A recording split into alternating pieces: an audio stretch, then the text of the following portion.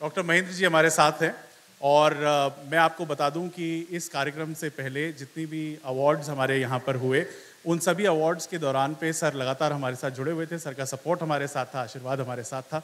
और सर की जो सबसे बड़ी खासियत है, वो ये है कि सर पहले एजुकेशन के क्षेत्र में उन्होंने बहुत काम किया। एजुकेशन मिनिस्टर भी रहे, sir if I am not wrong and doctor साहब के साथ में हमारा इंटरेक्शन बहुत पुराना है, बहुत रिलेशनशिप बहुत पुराना है।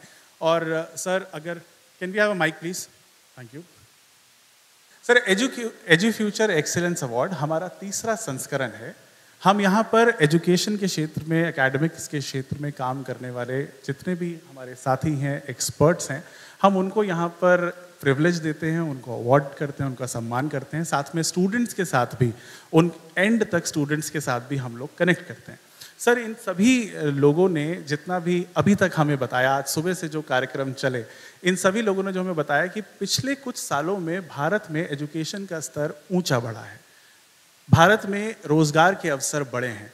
क्या ये सही है? आप इसे कैसे देखते हैं? देखिए, पहले तो मैं जी न्यूज़ के इस एजुकेशन फ़ील्ड में जो संस्थाएँ, जो व्यक्ति अच्छा कर रहे हैं, उनको एक्सीलेंस अवार्ड आप दे रहे हैं। ये बहुत ही प्रशंसनीय काम है।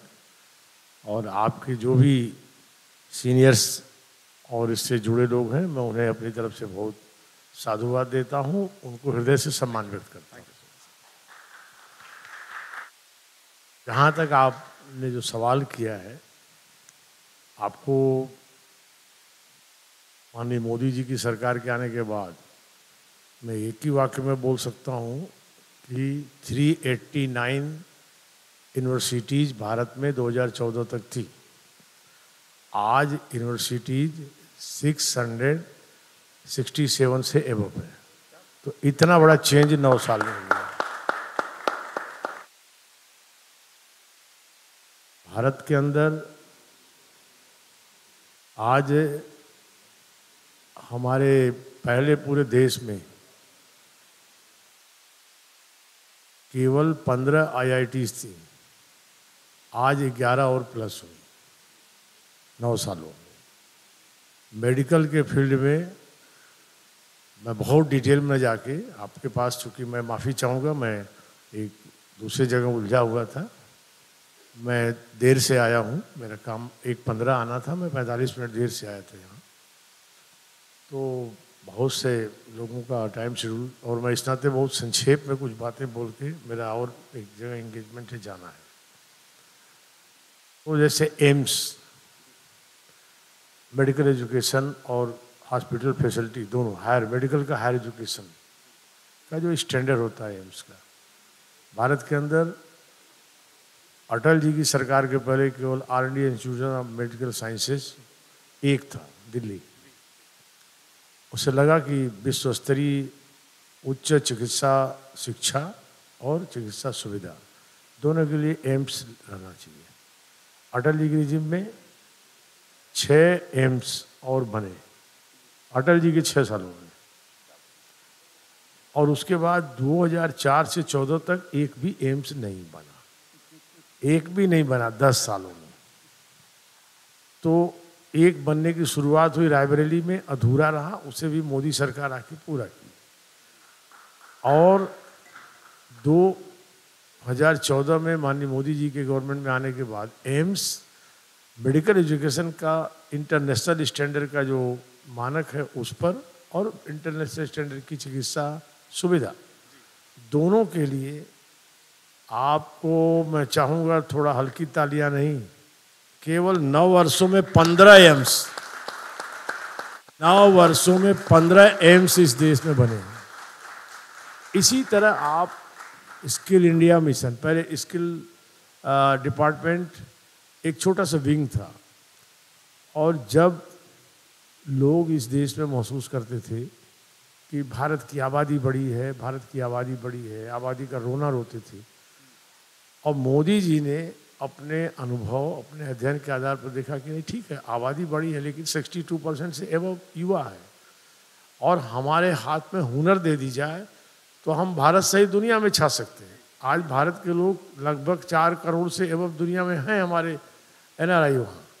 और आज हमारे लोग जो दुनिया में छाए हुए हैं, उनको हम तरह की स्किलिंग प्रदान करें कि विद इन इंडिया और आउट ऑफ़ द कंट्री उनके हाथ की हुनर से स्किल इंडिया मिशन से पूरे दुनिया में हमारे यंग यस्टर्स छा जाएँ और हम एक दिन सारे दुनिया में ये ऐसे चेंजेस हुए हैं। इसके नाते अलग डिपार्टमेंट दे करके इसके फिर एनएपी न्यू एजुकेशन पॉलिसी जो बनाई हमारी सरकार ने।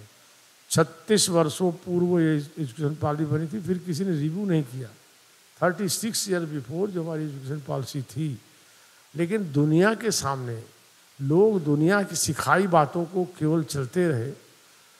हमारी क्षमताओं का, हमारी सभ्यता, हमारे संस्कारों का, हमारे प्राचीन ज्ञान का, इन सबको दुनिया जाने और दुनिया में जो रिक्वायरमेंट है, उस तरह का हम अपने यंगस्टर्स को तैयार करें।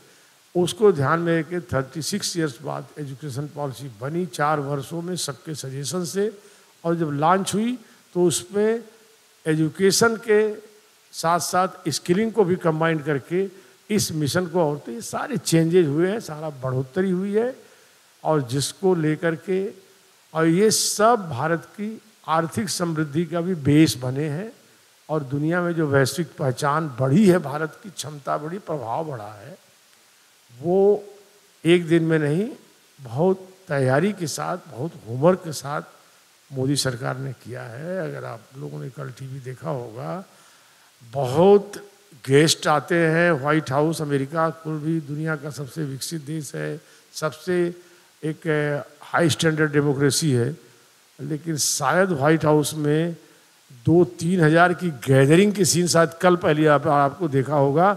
इस तरह का टैलेंट तो ये मोदी का ही स्वागत नहीं है।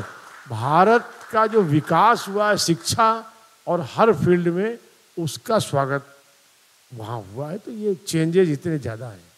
सर मेरा एक आपने स्किल और स्किल की महत्ता पर बहुत ज़रूरी बात की। भार, भारत ने विश्व भर में जिस तरह से चीज़ों को हासिल किया है भारत के युवाओं ने जिस तरह से हासिल किया सर स्किल इंडिया का महत्व क्या रहा था? आपके कार्यकाल में हम हमने एक समय ऐसा देखा जब भारत में ये मान लिया गया था कि आपके पास सरकारी नौकरी है तो आपके पास रोज़गार है। और नहीं तो आप बेरोजगार हैं, फिर आप किसी काम के नहीं हैं। लेकिन स्किल इंडिया आने के बाद से, क्या भारत के युवाओं में और साथ साथ जो उनसे पुरानी जनरेशन है, क्या उनका मेंटल स्टेचर भी बदला है? ये ये रवैया, ये ये दृष्टिकोण बदला है?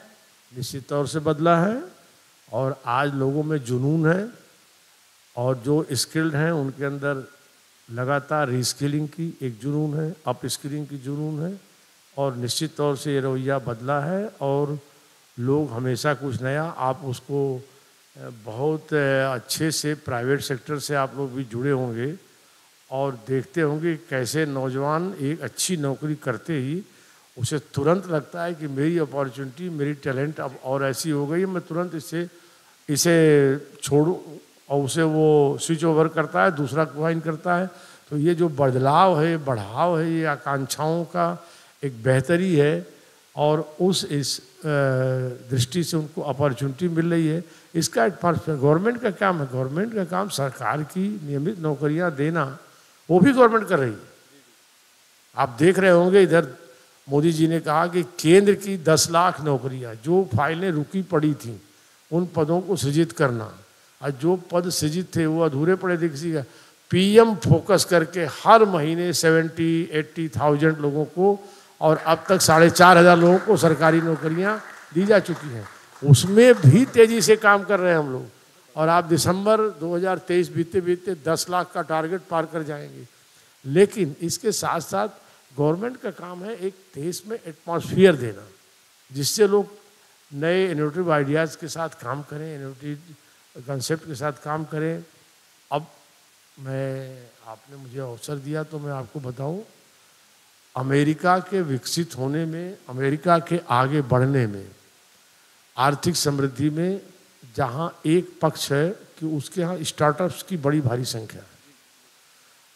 और जब मोदी जी ने, उनकी टीम ने अध्ययन किया कि ये स्टार्टअप्स में भी वन थर्ड तो हमारे इंडिया भारतीय मूल के लोग हैं, उन्होंने ये विचार किया कि क्यों ना अपने देश में इसको फोकस करें। आपको जान के सभी बहुत ही हाई जेंट्री यहाँ बैठी है। मैं लंबा राजनीतिक, सामाजिक मेरा जीवन है, चेहरा देख के बता सकता हूँ, सबने एक बड़ा लंबा जीवन जिया है इनमें से और सबके लंबे तजुर्बे हैं। 2014 के पहले आज भारत में केवल 100 स्टार्टअप्स थे। मोदी जी के विजनरी अप्रोच और लगातार प्रोत्साहन, ये जो विपक्ष वाले बोलते हैं, मोदी जी हर समय यहाँ बोलते हैं, वहाँ बोलते हैं। अरे मोदी जी ने बोल के आज हर नौजवान के अंदर एक्सप्रेशन जगाया है। उसके अंदर जोश जगाया है। उसका परिणाम है कि आज भारत के स्टार्टअप जो दो सौ थे, आज भारतीय लोग एक लाख से अधिक स्टार्टअप भारत में हो चुके हैं। और हर स्टार्टअप मिनिमम छः से सात लोगों को प्रत्यक्ष रोज़गार देता है और साठ, सत्तर, अस्सी, नौ सौ को अप्रत्यक्ष रोज़गार देता है। तो ये सारे अपॉर्चुनिटी, अवसर बढ़े हमारी सरकार के जमाने डॉक्टर साहब, एक बड़ा दिलचस्प सवाल, और ये ये सवाल एक्चुअली एक स्कूल स्टूडेंट ने पूछा है। इलेवेंथ क्लास की लड़की है सुप्रिया। ये हमने कॉन्टेस्ट भी कराया था, मैंने आपकी टीम को बताया भी था। जी न्यूज़ के माध्यम से जो लोग हमें देख रहे हैं, और आईडीपीएल के डिजिटल के माध्यम से जो लोग हमें देख रहे हैं। सर, आपको क्या परेशानी आई थी जब विपक्ष ने इस बात को बोलना शुरू कर दिया था? सर, वो माइक बदलने के लिए सर, उन्होंने विपक्ष ने ये तैयार कर दिया था कि शायद सरकारी नौकरियाँ जैसे देश में है ही नहीं, और कोशिश की जा रही है लोगों को कहीं और धक्का दिए जाने की या स्वरोजगार पैदा करने की। ये किस तरह का चैलेंज था? उस समय पे क्या लगा था कि स्किल इंडिया जैसा मिशन उसको सक्सेसफुल बनाना और लोगों को स्वरोजगार या स्टार्टअप्स की तरफ़ पर भेजना मुश्किल होगा? कितना मुश्किल था? देखिए, विपक्ष का सवाल आधारहीन था। सरकारी नौकरियों के आंकड़े भी रखे जाएँगे। तो हमारी सरकार के नौ साल के कार्यकाल, उनके कार्यकाल पर बहुत भारी पड़ेंगे। और कारण उन्होंने, देखिए, हम किसी की आलोचना के लिए और कटु आलोचना के लिए नहीं बैठे हैं। बड़ा चेंज आया है। पहले लोग सरकार जो में आते थे, वे सरकार में आने के पहले से ही अपने लिए सपने बुनते थे कि हम किसी तरह सरकार में आए, फिर अपनी पर्सनल इकोनॉमी का ग्रोथ अपनी टीम का ग्रोथ अपनी फैमिली का ग्रोथ फिर अपनी फैमिली अपनी छोटी सी टीम के फ्यूचर के सिक्योरिटी के लिए सरकारों में प्लानिंग करते थे।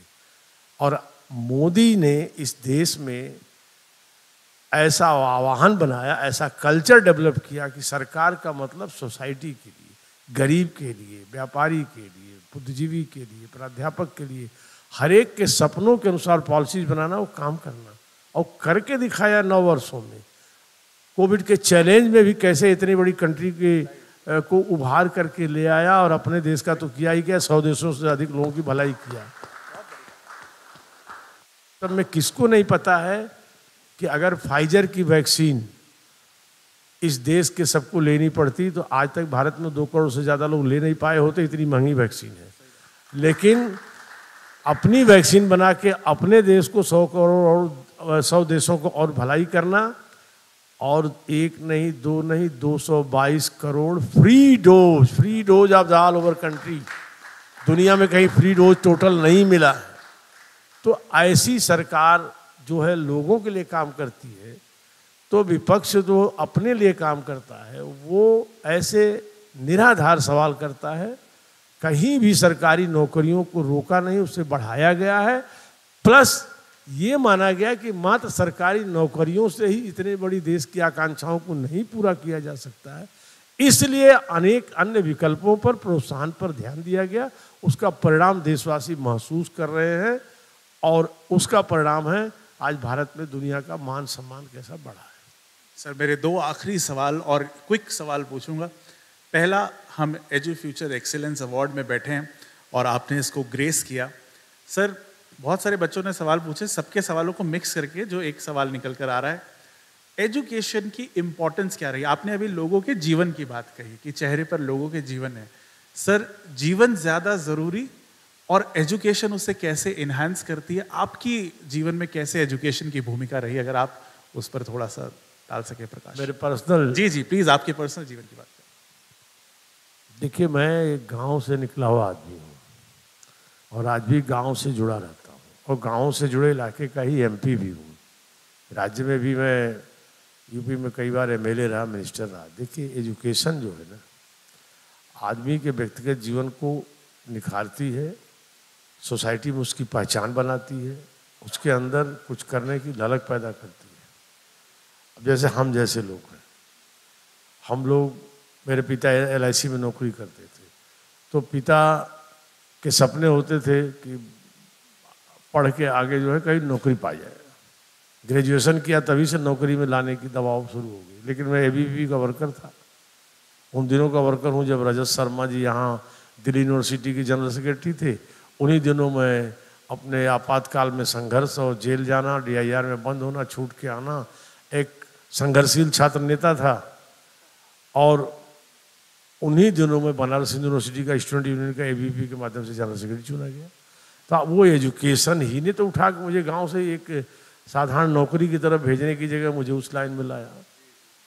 और एजुकेशन का महत्व तो मैं आपके माध्यम से विद्यार्थियों को जिन्होंने सवाल पूछा, मैं बताना चाहूँगा कि किसी भी लाइन में रहे, लेकिन सीखने की, पढ़ने की प्रवृत्ति रहनी चाहिए। वो निरंतर आपको आइडियाज़ देती है, निरंतर आपको, जैसे एक कोई डॉक्टर्स मेरे एक डॉक्टर थे बहुत मशहूर थे, आर्थ वो थोरेक्सिस सर्जरी के बड़े रिस्पेक्टेबल डॉक्टर थे बी एच यू में टी के तो जब वो अपने ऑपरेशन या पेशेंट को देख लेते थे तो वो उसके बाद बोलते थे, बनारस यूनिवर्सिटी के Indian institute of medical sciences B H U के अंदर तो ज़्यादातर लाइब्रेरी में पाए जाते थे। वो डिवोटेड थे, मेडिकल के लिए इतना डिवोटेड थे कि उन्होंने शादी भी नहीं किया और ऐसे ही पर्सनल पूरी ज़िंदगी जिया और मरीजों के लिए। क्यों? उनका कहा कि एक जन्म एक ही काम कर सकता हूँ। या तो घर बसाऊँ या तो मरीजों की सेवा करूँ। ऐसा उनका अपना थीम थी। तो जब लाइब्रेरी में मैं एक दो बार मिला उनको मिल करके तो उन्होंने कहा, आप बहुत लाइब्रेरी में टाइम देते हैं। बोले, देखो, हमको प्यार से महेंद्र बोलते देखो, महेंद्र ऐसा है, जब तक लेटेस्ट वर्ल्ड स्टडी क्या है रिसर्च क्या है, इसके जर्नल्स नहीं पढ़ेंगे तो हम कब के M B B S M S किए हुए हैं? आज की दुनिया कहाँ है, हम कैसे जान पाएँगे? तो एजुकेशन का उसी तरह से मैंने अपनी लाइफ में, मैं एम ए फाइनल में बी एच यू के जनरल सेक्रेटरी हो गया, उसके बाद में मैंने पी एच डी की, फिर इसके बाद मैंने पत्रकारिता में बैचलर ऑफ़ जर्नलिज्म और मास्टर ऑफ़ जर्नलिज्म किया। और नाउ मैं फ़र्स्ट ऐसा व्यक्ति हूँ इस देश का कि जब मैं यूपी का, मैं रिसर्च एसोसिएट था लिटरेचर में। मैं नॉन हिंदी स्पीकिंग एरिया पर लिंक लैंग्वेज पर काम कर रहा था। और 91 में उस दौरान में यूजीसी के रिसर्च रहते हुए भारत में एमएलए चुन लिया गया।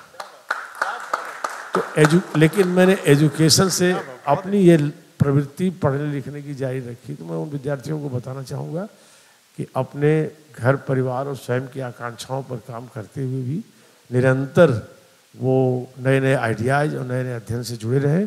उनका जीवन और बेहतर से बेहतर होगा। और जीवन ही नहीं बेहतर होगा। सोसाइटी के लिए भी वो बेहतर से बेहतर कंट्री के लिए भी बेहतर से बेहतर वो करेंगे। मेरी ऐसी शुभेच्छा, ऐसी सलाह। सर मेरा आखिरी सवाल, यहाँ बहुत बड़े बड़े बड़े एजुकेशनिस्ट अकेडमिशियंस बैठे हैं। स्टूडेंट्स आपको कुछ लोग फेसबुक के ज़रिए लाइव भी देख रहे होंगे, कुछ लोग बाद में इस वीडियो को देखेंगे। सर किस तरह से एजुकेशन अब पहले वाली ट्रेडिशनल एजुकेशन नहीं रही? और कहाँ बदलाव की ज़रूरत है? और भारत में क्या अब रोज़गार हैं? आप पहले प्रकाश डाल चुके हैं कि किस तरह से अवसर बढ़े हैं, लेकिन भारत एक ग्लोबल पावर बन रहा है। निराश होने की ज़रूरत तो नहीं है। इस पर आपके विचार जाना चाहूँगा। निश्चित तौर से मोदी जी ने और उनके गाइडेंस में पूरी टीम ने, और माफ़ करिएगा, मैं पॉलिटिकल नहीं बोल रहा हूँ क्योंकि अगर गाइडेंस मिल रहा है तो गाइडेंस को फॉलो करने वाला चाहिए। तो फॉलो करने वाले उदाहरण के रूप में मैं आपको आंसर दे सकता हूँ। अभी हाल में एक चुनाव हुआ कर्नाटक में। उन्होंने दस किलो हर चीज़ फ्री फ्री फ्री फ्री का बोल दिया। अब वो चावल ढूंढते फिर रहे कि हमें चावल दो, हमें चावल दो। तो ये जो चीज़ें हैं और ये यहाँ जहाँ मैं बोल रहा हूँ, यहाँ भी एक सज्जन है, वो फ्री फ्री फ्री फ्री का स्टाइल करते हैं। और जब घटता है तो केंद्र सरकार से, अरे केंद्र सरकार तो अपनी ड्यूटी करती है, लेकिन नियमों का भी तो पालन करना पड़ेगा। आपने खाद्यान्न वितरण ठीक से नहीं किया है, इसकी भारत सरकार रिपोर्ट हर राज्य से मांगती है, आपसे मांगती है तो आपको दर्द क्यों होता है? तो इस तरह की जो चीज़ें लोग लाते हैं, मैं आपके माध्यम से कहना चाहूँगा कि एक तरफ़ दूसरा नज़रिया ये है मोदी जी का। हर नौजवान में, हर विद्यार्थी में वो सपने देखते हैं। वो वही सपने हैं जो अब्दुल कलाम हमारे देश के राष्ट्रपति विद्यार्थियों की आँखों में झाँक के देखते थे, सम्मानित, बहुत ही अच्छे विद्वान प्रोफेसर थे। तो वो सपने जगाने के लिए सरकार अपॉर्चुनिटी देती है और नौकरी के साथ साथ अन्य फ़ील्ड में भी कैसे अवसर तलाशे उसका अवसर देती है और उस तरह की अनुकूलता बनाने का काम भारत सरकार की नीतियाँ भारत सरकार के निर्णय उसी तरह की न्यू एजुकेशन पॉलिसीज़ ये सब पहले की गई हैं और इसके साथ साथ सरकार की जो फ्लैगशिप योजनाएँ हैं उन योजनाओं में भी आ, जैसे मुद्रा योजना है अनेक प्रकार की एक आम कॉमन मैन की भी चिंता की गई है और एक पढ़े लिखे नौजवान की। कॉमन मैन की चिंता इतनी है कि मुझे अवसर दिया है तो मैं अपने आपके अवसर का सदुपयोग करना चाहूँगा कि स्ट्रीट वेंडर्स जो कोरोना में प्रभावित थे, पर डे जो रोज कमाते थे, खाते थे, जिनको कोई पूछने वाला नहीं था, उनको भी स्वनिधि योजना से ऐसा अवसर दिया गया कि आज हिंदुस्तान में लगभग लगभग छः करोड़ स्ट्रीट वेंडर उसका लाभ उठा करके दस हज़ार रुपया लिया साहूकार और सूद ले, पर पैसे देने वालों से बचा और उसने रीपे किया, फिर बीस हज़ार मिला, रीपे किया, फिर तीस हज़ार मिला और मुझे ऐसे ऐसे लोग हैं जो कल ठेला चलाते थे, वे आज ढाबा चला रहे हैं। इन्हीं तीन वर्षों के अंदर कोरोना पीरियड में। तो ये उनके लिए भी चेंज हुआ, ऐसे यंगस्टर्स स्टूडेंट्स के लिए सबको अपॉर्चुनिटी और मैं तो आह्वान करना चाहूँगा कि आप हर समय अपना ए, अपने रीजन का सोचिए प्रदेश का सोचिए देश का सोचिए और हमेशा वैश्विक सोचिए। आपके नेता ने भारत के अंदर वो दृष्टि दी है एक हाई मतलब बड़ी आकांक्षाओं के साथ हम दुनिया में एक प्रभावी देश बन सकते हैं और जिसके अंदर यह विजन है कि हम आज़ादी के 75 वर्षों में पहुँच चुके हैं और हम अब इतने वर्षों में जो चीज़ें होनी चाहिए वो नहीं हुई, लेकिन नौ वर्षों में एक इंफ्रास्ट्रक्चर का डेवलपमेंट हो ज़ीरो टॉलरेंट का सरकार करप्शन के लिए ऊपर ज़ीरो टॉलरेंस और करके दिखाया। ये छोटी बात नहीं है कि दस बरस जैसे धारावाहिक की सीरीज़ होती है, वैसे धारावाहिक घोटाले होते रहे, और 2014 से आज 23 तक नौ बरस बीत गए, दसवें में हम प्रवेश कर गए हैं। एक भी घोटाला देश के अंदर नहीं हुआ। तो ये क्या है? ये है कि हमारे देश में है। राइट वे में जाएँगे तो हम देश दुनिया में हम छा सकते हैं और हम उस दिशा में काम कर रहे हैं। और मैं यंगस्टर्स को आपके माध्यम से और बड़े विद्वान जनों को यही भरोसा देना चाहूँगा कि आपके इस नेता ने कल दो हज़ार सैंतालीस में हम रहे न रहे, कोई रहे न रहे, ईश्वर करे बहुत लोग रहे, सबकी आयु अच्छी हो। लेकिन दो में हम अमृत काल में नेता क्या होता है? नेता का केवल इतनी काम है कि सड़क बना देना, बिजली दे देना, पानी दे देना, सफ़ाई करा देना, हेल्थ की सुविधा, ये तो है ही। लेकिन उसको दृष्टि देना सोसाइटी। उसको विजन देना सोसाइटी। को तो विजन दिया है मोदी जी ने कि हम एक संकल्प के साथ अमृत काल में चले कि दो में हम दुनिया के सबसे बड़े, जो आपने कहा, ग्लोबल हमारा एक्सेप्टेंस बढ़ा है। तो हम ग्लोबल लेवल पर सबसे विकसित कंट्री बने और इस दिशा में हम बढ़ रहे हैं केवल कह नहीं रहे हैं। हम ग्यारहवीं अर्थव्यवस्था से 2014 के पहले आज हम पाँचवीं हैं और इकोनॉमिस्ट का आकलन है कि हम एक दो तीन चार वर्षों में आते आते चौथी और तीसरी अर्थव्यवस्था की तरफ़ बढ़ सकते हैं। तो ये एक प्रमाण है कि हम उस दिशा में बढ़ रहे हैं और वो सपने आपके अंदर प्रधानमंत्री जगा रहे हैं नरेंद्र मोदी जगा रहे हैं। मैं इस अवसर पर युवाओं को कहना चाहूँगा वो सपने हैं। हमारे आपके नहीं, आपके सपने, क्योंकि इसमें बहुत से यंगस्टर जो हैं, वो दो हज़ार सैंतालीस में बिल्कुल अपनी परिपक्व अवस्था में रहेंगे। वो विकसित भारत देखना चाहते हैं तो मोदी के सपनों के साथ अपने सपने जोड़ते हुए देश को आगे ले जाए। क्या बात है, सर। सर, आपने अपने जीवन से इतने प्रेरणादायी बातें हमें बताई। आपने देश एक विजन की तरफ़ कहाँ पहुँच रहा है इस बारे में हमसे बात की और आपकी टीम लगातार हमें इशारा भी कर रही है। इतने इतने बिज़ी स्केड्यूल में से आपने हमारे लिए समय निकाला। मैं आपका बहुत बहुत आभारी हूँ। जी न्यूज़ आपका बहुत धन्यवाद आपको। एक बार सभी जो लोग चले गए उनसे भी मैं जो 45 मिनट लेट आया उसके लिए माफ़ी चाहूँगा। नहीं नहीं सर मैं चाहूँगा सभी लोग खड़े होकर सर के सम्मान में जोरदार तालियाँ होनी चाहिए। Sir thank you so much thank you so much.